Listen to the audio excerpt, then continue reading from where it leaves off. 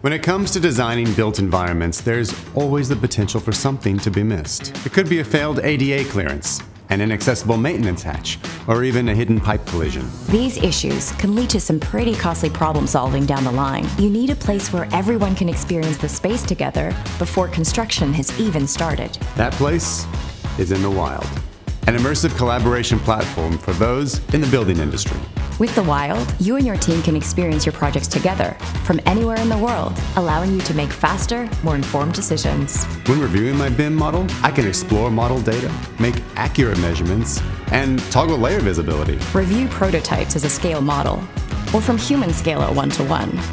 And while you're there, meet with other stakeholders and collaborate in real time, just like you're on site, or simply leave a comment for later. Can we widen this window by six inches?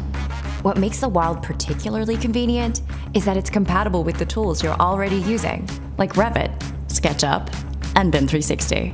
It's the perfect workspace for architects, engineers, construction teams, and everyone in between. For me, it's the easiest way to eliminate design flaws and mitigate costly clashes before construction. Plus, you can also download the Wild app to a mobile device and view your model in context using augmented reality. Discover the best place for teams to present, collaborate, and review projects. Head into the wild and experience it for yourself at thewild.com.